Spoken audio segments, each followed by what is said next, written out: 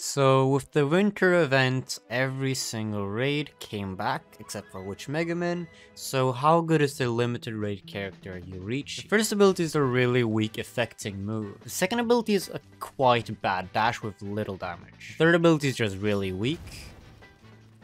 But the fourth ability has a lot of damage and good AoE. In Dimensions, he barely does enough to actually like one-shot enemies, but he's still fine because he does have a dash move and he does have okay damage as long as you actually crits.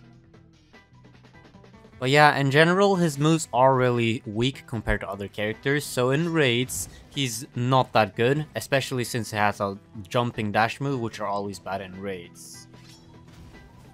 He's really bad in raids, but in dimensions he's actually pretty good.